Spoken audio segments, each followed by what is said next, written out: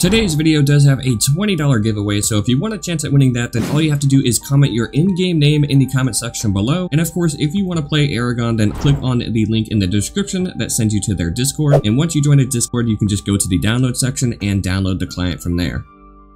A quick shout out to Worst Shot for winning the last episode's giveaway. Definitely don't forget to enter today's giveaway. And today I'm going to be picking things up where I left off in the last episode. I have to reach 600 Slayer points today to get a Void set for all combat styles, and that is definitely going to take a long time, so let's just go ahead and get straight into it. I started doing this in the last episode, but it really caught me off guard as to how long the grind was actually going to be, so I really didn't have much progress within that episode, and I'm going to do my best to avoid content in this episode and just grind a bunch off screen. That way I can get this all done and start moving on to the next steps without boring everyone to death. So with that being said, I'm going to go ahead and make one of my first true upgrades on the account and buy a whip, which should speed up my melee slayer task by quite a bit, and that is very important when you're trying to speedrun slayer points. You want to get those tasks done fast as possible. And you know what? I might as well get some dragon boots too. They're not really that expensive, and they will help me out when it comes to DPS, and I'm going to have to have them at some point point, so if I can get him, I might as well get him, so that's what I'm gonna do. There's 99 attack. Now my melees are fully maxed out, and I'm pretty close to ranged and magic being maxed as well. I only have a few more levels for both of those. And of course, I do have to get my daily votes in to continue bringing in some passive cash for the account. I'm gonna continue doing this as much as I possibly can because you get some pretty solid rewards from doing it. I'm also not too sure if there's certain NPCs that are better for collecting charms than others, but I'm just gonna go ahead and collect charms while doing Slayer. I'm sure there's some NPCs out there like Water Fiends or something that drop really high rates of charms, but if I collect them during Slayer, then I probably won't have to focus too much on collecting them at a later time. Just got 99 magic, so ranged is the last combat stat to go, and I only need 100k XP until I get 99 for that as well, so that is going to be very quick to get, and the next clip you see is probably going to be me getting 99 range. Okay, well the next clip that you see is not me getting 99 range because I had to bank, but since I did bank, I might as well just get some ranged gear and go ahead and get that 99 really quickly just to finish up this task. It shouldn't take long at all, like I said, maybe a couple kills. And yeah, there it is, 99 ranged, and now I no longer need to worry about training up any of my combat stats. When I'm doing these Slayer tasks, I can just use the best DPS for the task. Alright, I decided to check out the pet perks again, and it's a really good thing that I did because I'm going to go ahead and get this Slayer Accelerant perk to get bonus Slayer points per task completion. And this might be a little bit overkill, but I'm going to go ahead and boost this up all the way to the max, which is going to cost a pretty decent amount of achievement points, pretty much all, well, about half of the achievement points that I have here. So that is pretty expensive, but I think it will help out in the long run. So that leaves me with only 30 achievement points left, which is a pretty low amount. So I might as well just get the melee striker perk too, and just start working my way up to getting more achievement points from scratch. But yeah, normally I would end up getting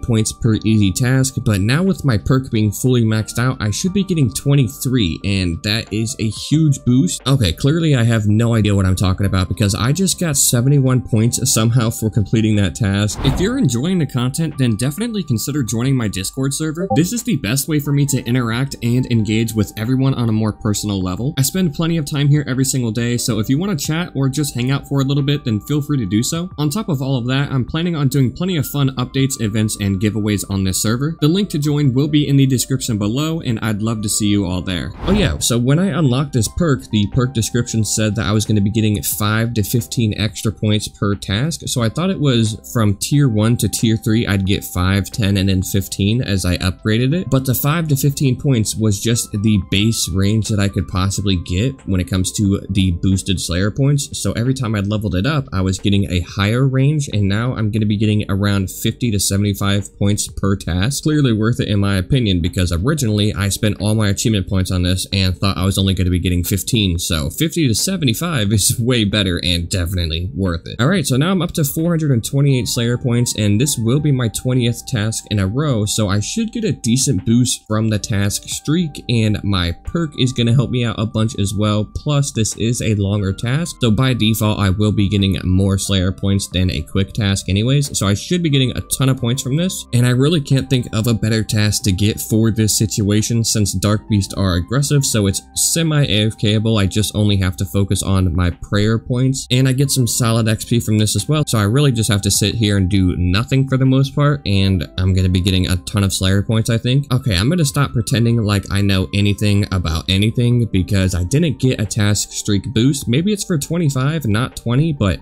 I'm still up to 530 points, so one to two more easy tasks will do the trick here and allow me to get my void sets. And finally, after a lot of hours of grinding Slayer, I finally have 600 points, so I can complete my adventure path step of spending 500 points and also get my void set with all combat styles, which is a huge upgrade to a new account. If I would have gotten this Slayer Accelerant perk sooner, then it wouldn't have been such a long grind, but I'm still new to the server and I am learning new things every day, so stuff like that will happen, but at least I know for now, and I'm going to be able to farm Slayer points a lot better in the future. So let's just quickly buy all this Void gear for every combat style, and Oh, wait, do I not have enough for gloves? Yeah, I don't have enough for gloves. Okay, I'll be back in 20 minutes after doing one final task. that is so annoying. Okay, just about to finish up this task, so I will be getting my void gloves, and after that we can finally move on from Slayer because I am ready for a break from Slayer. I do not want to do this anymore. It's taken so many hours. Okay, yeah, not only is this a massive gear upgrade for a new account, but I also have the Slayer Accelerant, as I mentioned earlier, which will help me get a ton of points in the future when it comes to getting extra void sets for upgrades in order to get that gold void set that I've been talking about the past few episodes, so this is a very good investment in my opinion. But for now, let's go ahead and claim my reward from the adventure path, which is 250 extra Slayer points, and now I have to defeat any wilderness boss 10 times, which is interesting. Apparently, the Necromancer and Chaos Elemental are the easiest bosses in the wilderness, so I'm gonna try out the Necromancer for these 10 boss kills and just see what that's all about. And my setup here is gonna be pretty newbie still because I'm going into the wilderness and I don't want to lose my void that I just spent so many hours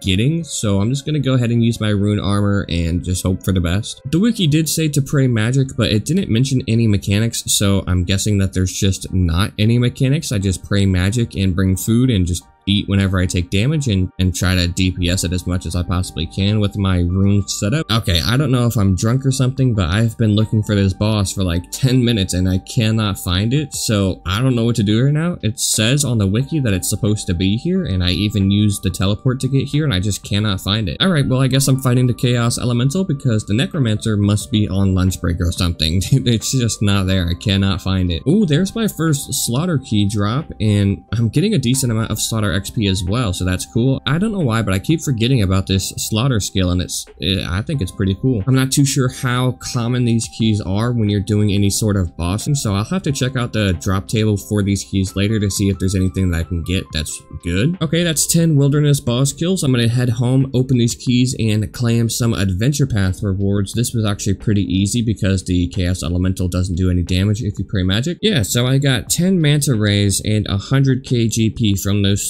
keys. So that is not great, to be honest. It is, is not good. Okay, let's go ahead and claim these rewards from killing 10 wilderness bosses and claim the next reward step as well because I have already done 15 Slayer tasks. I've done way more than 15, but yeah, now I have to kill three world bosses for my next step in the adventure path. So now I actually am in a pretty good situation because I have enough Slayer points to get extra sets of Void gear for the upgrade to get the Gold ripped Void, I think it's called, but I do need upgrade tokens, and I need four of them just to have a chance at upgrading, and they're pretty expensive. I'm gonna have to work on getting some cash in order to buy these tokens because they're 100% needed for the future if I'm gonna upgrade item. Actually, I think I do have around 10 mil in tickets here, mainly from the PK tickets, but I'll throw these in the GE and just hope they sell by the time the next episode goes live, and maybe I'll have enough cash to get some upgrade tokens from that, but we'll just see what happens. I don't know if they will sell. And I'm just barely not able to afford the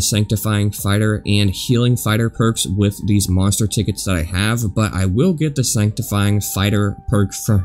God, that's such a, that, that's a tongue twister right there. But yeah, I'll get this perk for now, and I can just save up a little bit in the next episode to get the Healing Fighter perk, and that will help a lot for Slayer. But yeah, that's where I'm going to be ending things for today. If you did enjoy, then make sure to let me know by leaving a like, and if you want to see more videos like this in the future, make sure to subscribe with notifications turned on. That way you never miss any of my content.